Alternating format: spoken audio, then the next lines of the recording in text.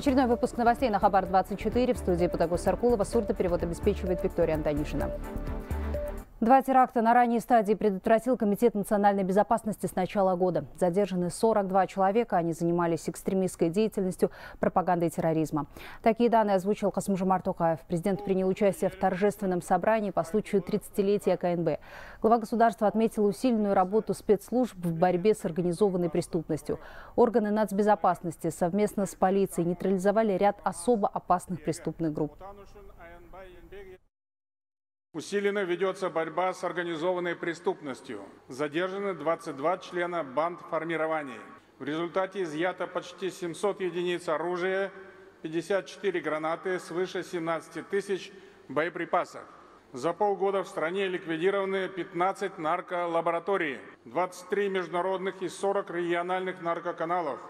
Обнаружены 3 наркоплантации. В рамках борьбы с международными наркотрафиком совместно с зарубежными партнерами реализовано 14 международных спецопераций. Кроме того, сотрудники КНБ задержали более 7 тысяч нарушителей режима границы и территориальных вод. Предотвратили незаконное перемещение валюты и других ценных товаров на 8 миллиардов тенге. Успешно отразили больше полутора тысяч хакерских атак. При этом такая работа не всегда на виду, сказал президент. Он отметил, что служба в спецорганах требует от сотрудников универсальных знаний. Для успешной реализации всех преобразований нам нужны современные спецслужбы, способные эффективно противодействовать любым угрозам. Органы национальной безопасности находятся на передней линии защиты национальных интересов и борьбы с нарастающими вызовами современности. Поэтому необходимо устранять проблемы еще на стадии их формирования, делая упор на аналитическую, информационную, разведывательную работу. Казахстан проводит сбалансированную и конструктивную внешнюю политику, направленную на укрепление глобальной и региональной безопасности. Поэтому крайне важно развивать продуктивное сотрудничество по линии спецслужб с государствами, которые являются союзниками и стратегическими партнерами нашего государства. Другим темам. Экс-главу Департамента полиции Павлодарской области Нурлана Масимова задержали при попытке пересечь границу с Россией, сообщает Антикор. Чтобы скрыться от уголовного преследования, он использовал поддельные документы. Отмечу, Нурлан Масимов, который приходится двоюродным братом экс-председателю КНБ Кариму Масимову, был снят с должности в январе после массовых беспорядков в стране. С апреля его разыскивали за совершение особо тяжкого коррупционного преступления. В результате оперативно-розыскных мероприятий 13 июля текущего года антикоррупционной службой совместно с пограничной службой при попытке пересечения государственной границы с Российской Федерацией по поддельным документам на территории Восточно-Казахстанской области задержан Масимов Нурлан Марзаханович. Больше полусотни человек подозревают в незаконном выводе из страны 440 миллиардов тенге. В их отношении заведены уголовные дела. О промежуточных результатах работы по возврату похищенных денег сообщили в пресс-службе правительства. Комиссия действует с февраля. Специалисты уже провели несколько налоговых проверок. Собранную за три года информацию передали в агентство по финмониторингу. Помимо этого, сейчас проверяют банковские операции на 271 миллиард тенге. Напомню, возврат незаконно выведенного капитала из-за рубежа – это одно из поручений президента. Накануне о своей готовности оказать содействие заявили представители Евросоюза. По 50 лицам материалы переданы в органы внутренних дел по факту мошенничества. По 6 лицам репатриация, по факту репатриации в агентство по финансовому мониторингу. Личность данных физических лиц установлена. Среди них есть индивидуальные предприниматели, а также лица, которые не имеют отношения к этим переводам. То есть э, на данные лица, на подставные лица были оформлены такие переводы. Активы Нацфонда Казахстана в июне сократились на 2 миллиарда долларов. Связано это с падением цен на акции, укреплением американской валюты и выделением трансфертов в республиканский бюджет, объяснили в Нацбанке. Отмечается, что в борьбе с инфляцией центробанки многих стран перешли к самому масштабному повышению ставок за последние 20 лет. Высокие геополитические риски вызвали падение рынка акций в прошлом месяце. Кроме того, на фоне укрепления доллара подешевело золото, то есть произошло снижение портфеля золота. Что касается трансфертов, в июне в республиканский бюджет перенаправили почти 580 миллиардов тенге. Сейчас на счету нацфонда почти 52 миллиарда долларов. Бывшего Акима города Кентау приговорили к 10 годам лишения свободы, без права в последующем работать на госслужбе. Даурена Махажанова осудили за коррупцию. Согласно материалам дела, он получил взятку 50 миллионов тенге от директора компании по строительству дорог. Наказание понесут и другие фигуранты дела. Одного из подельников осудили на год, второго на полтора. Приговор в законную силу еще не вступил.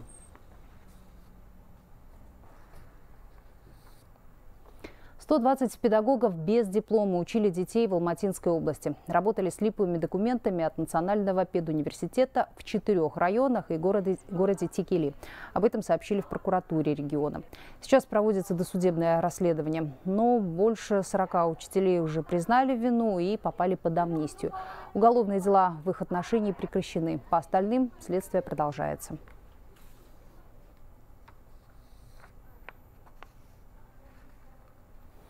В Шимкенте началась массовая ротация директоров школ. 68 руководителей в новом учебном году сменят место работы. Это коснется почти половины школ мегаполиса, где директора не менялись по 15-20 лет. Управление образования уверено, за такой срок специалист может потерять мотивацию и желание развиваться. Кроме того, это создает определенные коррупционные риски. В уточнили, местами меняют лишь руководителей, педагогический коллектив остается. Такая же ситуация и с детскими садами. Отмечу, ротация кадров должна пройти во всех регионах. В основном все директора школы на сегодняшний день пришли, ознакомились с уведомлением, взяли, подписались. И поэтому со стороны руководителей школ, я думаю, никакого претензии не может быть. Потому что если ты сильный руководитель, ты можешь любой школе руководить, поменять свою там стиль работы. Еще о школах. С этого года в казахстанских школах появятся профориентаторы. Их задача помочь учащимся определиться с выбором будущей профессии. Работать они будут с теми, кто учится в седьмом классе и старше. Об этом на полях неочередного съезда молодежного крыла партии «Аманат» Жастар Руха рассказал Яралы Тугжанов. Заместитель премьер-министра встретился с делегатами и ответил на вопросы. Молодежь озвучила свои предложения. Они, в частности, касались развития юношеского спорта, производственной практики в вузах и поддержки молодых предпринимателей предпринимателей. Продолжаем выпуск. Суточный прирост заболеваемости COVID-19 в следующем месяце может достичь 4 тысяч человек. Такой прогноз озвучила главный санитарный врач республики. По словам Айжан Исмагамбетовой, только за прошлую неделю число инфицированных выросло в два с половиной раза. Почти 70% всех случаев за сутки приходятся на столицу и Алматы.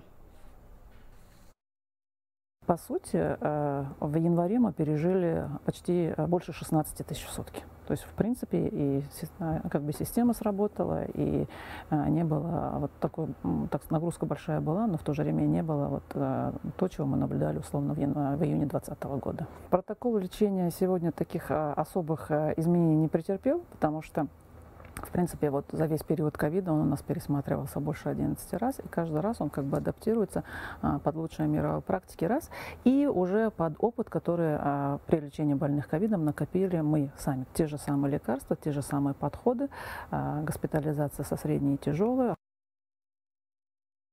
тем временем в мире выявили более 9 тысяч случаев обезьяньей оспы. Из них 1700 зарегистрировали в Германии. При этом эксперты прогнозируют рост. Несмотря на это, в стране не планируют отменять массовые мероприятия.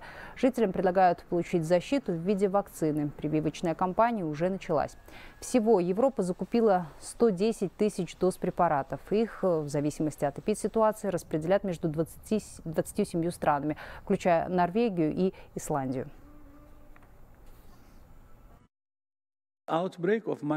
Глобальная вспышка оспы обезьян очень нетипичная. Ее поведение отличается от того, что мы видели раньше. Все больше людей заболевают, и география стран расширяется. Поэтому нам нужно скоординировать наши действия, чтобы противостоять распространению оспы обезьян. Сейчас мы работаем сообща с экспертами, чтобы в короткие сроки разработать методы контроля ситуации. И еще о событиях в мире. В Соединенном Королевстве начался первый раунд голосования за кандидатов на пост премьер-министра. За кресло главы Кабмина борются 8 человек. Среди них экс-глава казначейства, глава оборонного и внешнеполитического ведомств, а также младший министр по торговой политике. Подробнее о процессе голосования и о кандидатах расскажет Вероника Боярова. Это необычное голосование. Большая часть населения не обладает правом голоса. Начиная с сегодняшнего дня, законодатели от консервативной партии проведут несколько туров тайного голосования. Чтобы пройти первый, кандидатам нужно получить поддержку как минимум 30 человек из 350. После этого состоятся еще несколько раундов. В результате должны остаться только два претендента на должность лидера. Их кандидатуры будут вынесены на всеобщее голосование членов партии Тори. Я думаю, в отношении этих выборов прозвучат много высказываний. В будущем будут длительные дискуссии и дебаты по этому поводу. Важно то, что мы достигли той точки, где сейчас находимся, и у нас есть четкий план, чтобы выбрать лидера партии Тори. По данным BBC, лидерами по количеству голосов являются экс-глава казначейства Риши Сунак и младший министр по торговой политике Пенни Мордант. За ними следует Элизабет Трасс, которая сейчас возглавляет МИД страны. Выпускник Оксфордского университета Риши Сунак до недавнего времени занимал пост министра финансов. В этом месяце после череды скандалов вокруг партии он сложил полномочия по этическим соображениям, как и несколько десятков других чиновников. В случае избрания он в первую очередь будет бороться с растущей инфляцией. У меня есть план по восстановлению экономики страны. Нам необходимо вернуться к традиционным консервативным экономическим ценностям. Нужны честность и ответственность, а не сказки. Борьба с инфляцией, рост экономики и снижение налогов. Вот наша победа. Один из его основных противников, министр иностранных дел Элизабет Трасс, напротив, планирует пересмотреть ставку налога на бизнес. Если я выиграю следующие выборы, я сделаю все для британского народа, все, что в моих силах. Я знаю, что лучшие дни для нашей страны еще впереди. Я тот кандидат, который может сделать твердый шаг в будущее и добиться перемен. Еще один потенциальный премьер – Пенни Мордант. К слову, это первая в истории Великобритании женщина-министр обороны. Сейчас она занимает пост младшего министра по торговой политике. Ее предвыборные обещания – это повышение уровня жизни населения и укрепление экономики.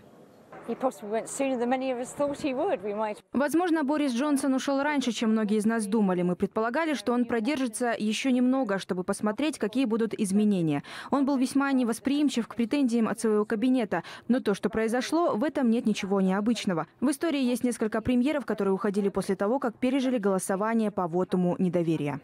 Что же касается следующего премьер-министра и, соответственно, лидера партии Тори, то его имя мы узнаем только 5 сентября. Вероника Боярова, Хабар 24.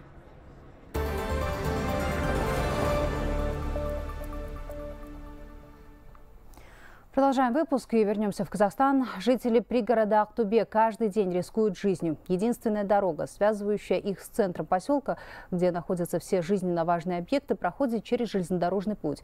При этом на станции нет специальных переходов и надземных конструкций. Кроме того, неделями на путях стоят грузовые поезда. Ислу Махмутова расскажет подробнее.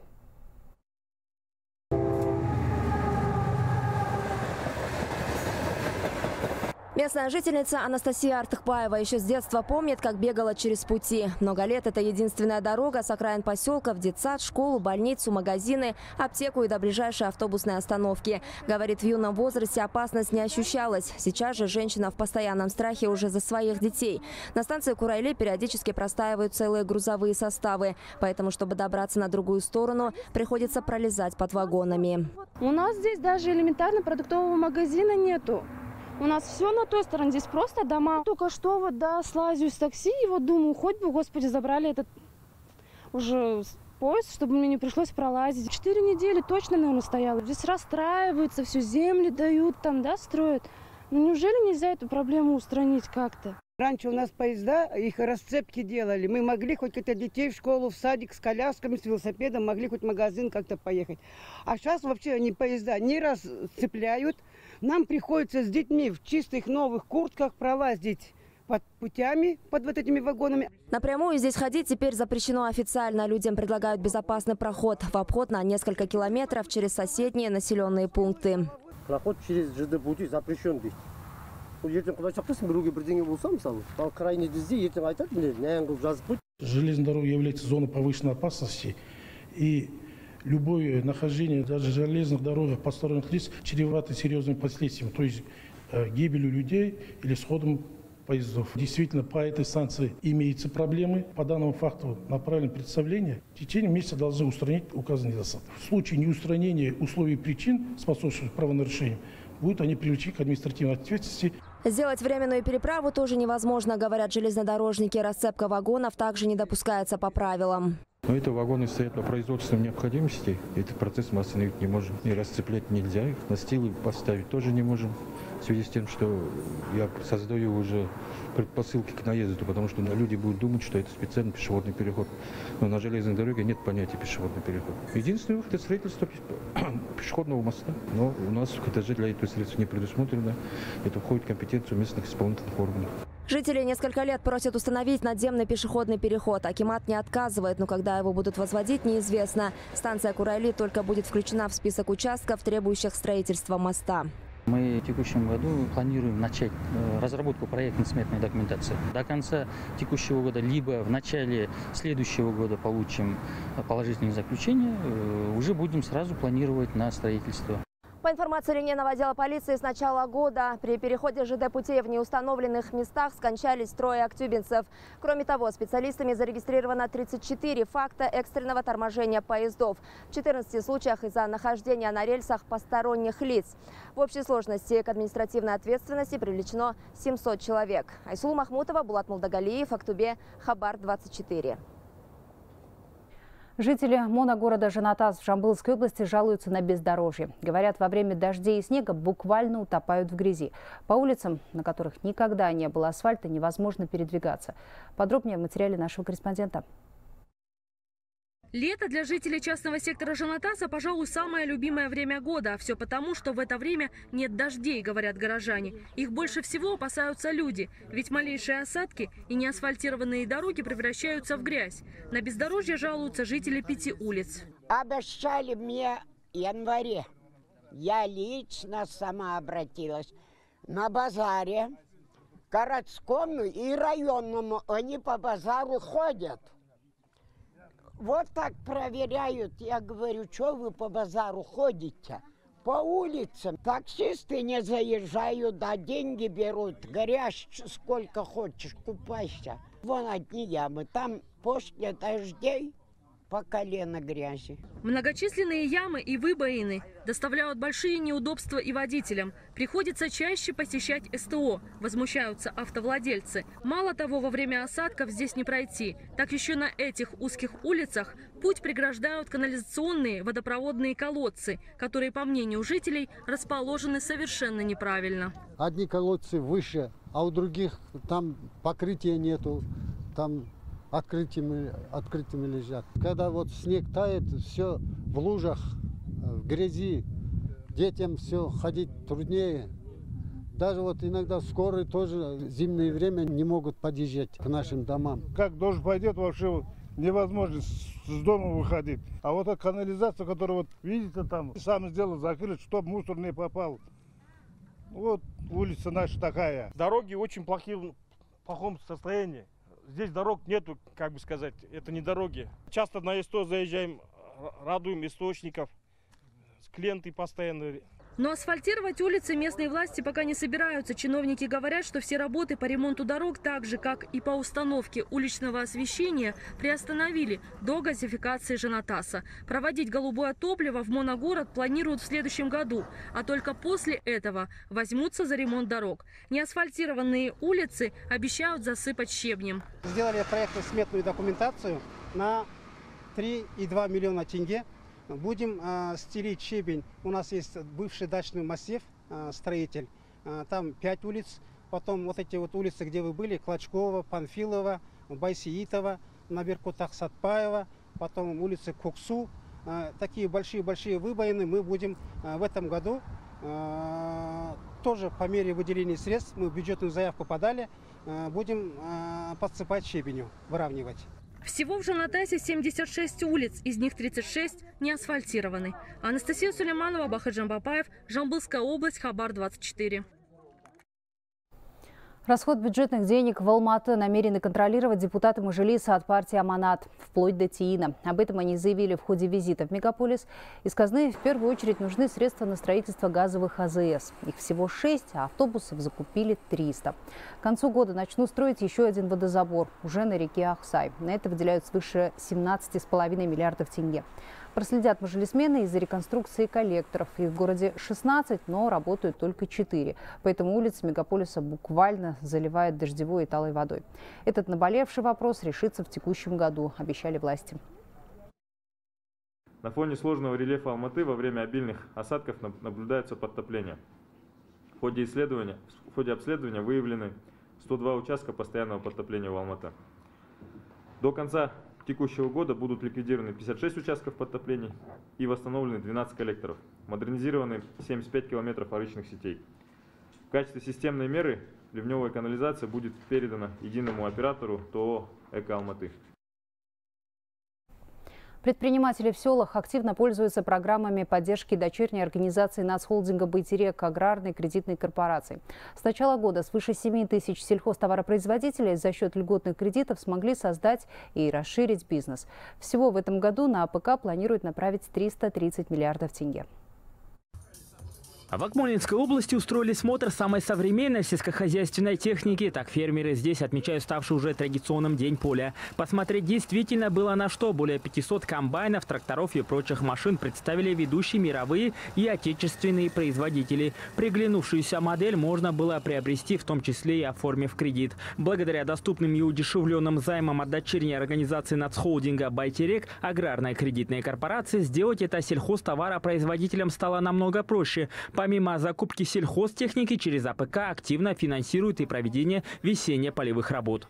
Теперь, допустим, если э, крестьянин получил весной этот кредит, да, соответственно, у него есть возможность там э, эти, э, этот кредит вернуть уже не 1 декабря, а, допустим, до 1 марта. Всего за помощью в проведении весенне-полевых работ в дочернюю организацию нацхолдинга «Байтерек» уже обратилось порядка трех с половиной тысяч фермеров, а работы были проведены на свыше трех с половиной миллиона гектаров. В основном у нас э, объем финансирования больше. В этом году профинансировали на весенне-полевую уборочную работы в основном, так как Акмолинский район считается, регион считается пассивным районом. Также берут на технику. Национальный холдинг «Байтерек» не первый год кредитует проекты в сфере сельского хозяйства. Так, в первом полугодии дочерняя организация холдинга направила 182,5 миллиарда тенге на поддержку порядка 7 тысяч фермеров. Алишер Накипов, Акалбек Исимсиитов, Хабар 24. Казахстан готов делиться опытом работы в сфере гендерного равенства. Об этом заявила заместитель руководителя администрации президента Аида Балаева, выступая на форуме, посвященном 30-летию отношений КНР и Центральной Азии.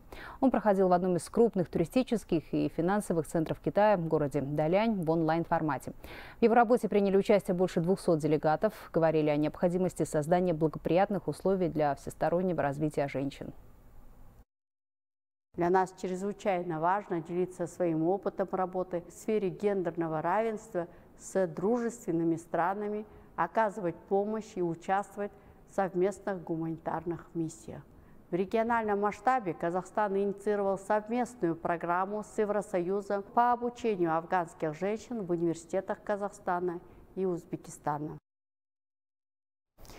И в завершение выпуска «Наследники», игра в кальмара, очень странные дела. В Лос-Анджелесе объявили номинантов Международной телевизионной премии «Эми». Трансляцию церемонии вели на YouTube-канале Академии. За ней следили наши корреспонденты. Главная телевизионная премия Эми в этом году пройдет в 74 раз. Претендентов на статуэтку будут выбирать около 23 тысяч членов телеакадемии. Среди фаворитов номинации драматический сериал «Очень странные дела» и «Наследники». Последний выдвинут сразу в 25 категориях. В свою очередь хит Netflix «Игра в кальмара» стал первым неанглоязычным сериалом, представленным в номинации премии. Сейчас почти два часа ночи. Я просто счастлив. Все члены съемочной группы и актеры были номинированы на Эми. И среди всех номинирован Пак Хэ Су в категории актера второго плана. И это особенно приятно для меня. Я был в изнурительном процессе написания сценария для второго сезона. 14 номинаций усиливают давление второго сезона. Но по мере того, как возрастает давление, я бы сказал, что моя мотивация также возросла. Потому что я хочу работать для моих фанатов по всему миру.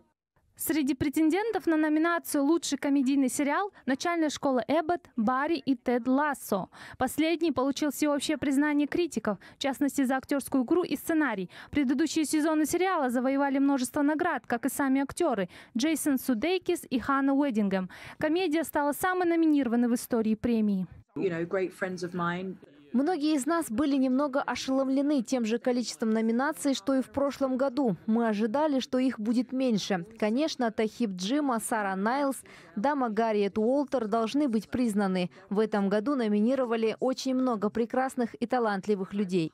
В числе тех, кто вошел в номинацию «Лучшая актриса» Рис Уизерспун, Джоди Комер и Зендея. 25-летняя актриса добилась невероятных достижений в кино и стала самым молодым двукратным номинантом в истории конкурса. Напомню, награждение главной телевизионной премии США пройдет 12 сентября в Лос-Анджелесе. А кто станет победителем в этот раз, мы узнаем уже совсем скоро. Октанова Мариам, Хабар 24. И к этому часу у нас все. Напомню, все наши новости доступны также на нашем сайте 24.kz. Всего доброго.